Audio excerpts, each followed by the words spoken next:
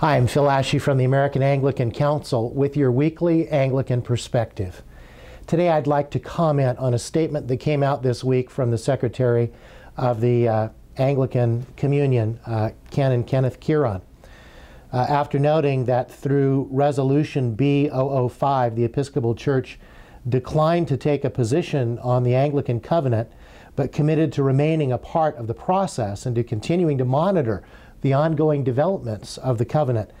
Uh, Canon Kearon said this He said, What is surprising and very heartening is the extent to which even those opposed to the covenant are now talking about the communion in a different way.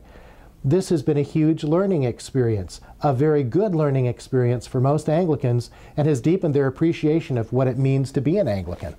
Well, you know, that's a bit like the saying, well, uh, even though the building burned down, uh, the arsonist is uh, in good speaking terms with the victims and intends to continue to explore ways of deepening their dialogue. Here's the problem.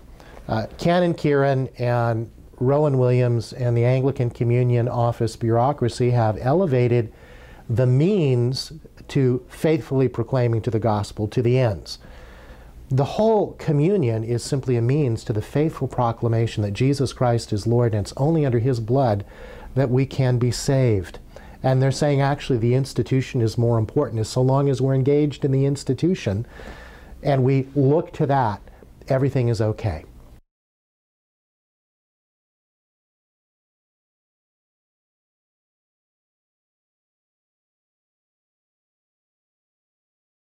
You know, that is a danger that currently infects the Anglican Communion. But it's not just the Anglican Communion, it's, it's us. Every time, for instance, we elevate the culture of our church and its traditions over the faithful proclamation of the gospel, every time we turn away someone who's not uh, like the culture we're used to, or that we turn inwards and stop reaching out with the uh, wonderful good news of Jesus Christ, we too are in danger of worshiping the creation rather than the Creator.